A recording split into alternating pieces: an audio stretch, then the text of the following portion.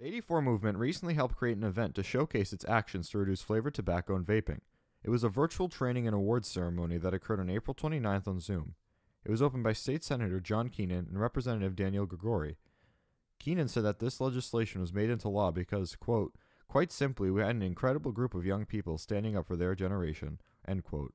Awards were later given out. Mrs. Klarer won the 2020 Adult Advisor Award, and Holbrook's chapter the 84 movement won the 2020 Outstanding Chapter Award. Mrs. Klarer described the students as, quote, warriors, and that, quote, they were so brave. They missed a lot of their own personal time to do this. They got nasty comments on social media. They continued because it was their fight, end quote. This has been Andrew Luarasi with Code News, signing off.